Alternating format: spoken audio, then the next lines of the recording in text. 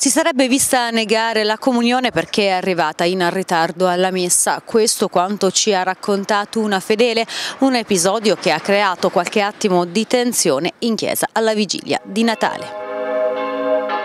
Sarebbe successo in una delle parrocchie più popolose della città, quella di Gesù Cristo Divino Lavoratore Sant'Egidio nel quartiere dell'Orciolaia. A denunciare quanto accaduto una parrocchiana che abbiamo incontrato fuori dalla chiesa.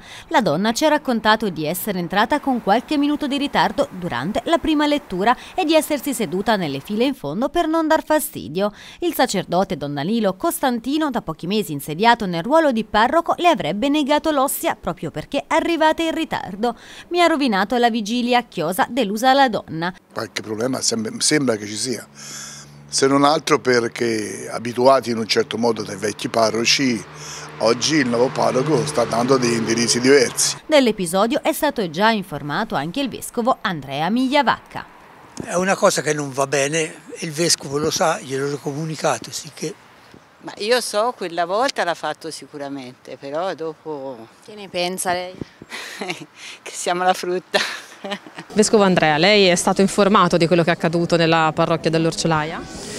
Diciamo che io non sono semplicemente stato informato, ma per approfondire ho parlato con, eh, con Don Danilo e ehm, io faccio queste considerazioni, eh, anzitutto mi spiace per tutta la situazione che si è creata e anche per chi eventualmente non si fosse sentito accolto. La questione forse è legata a una situazione particolare per come l'ha valutata lui, quindi non da eh, estendere a un modo di fare perché già in un dialogo e in un cammino precedente con Don Danilo si è valutato, sottolineato questa importanza di accoglienza alle persone e della comunione che va data a coloro che vanno a chiederla e a riceverla.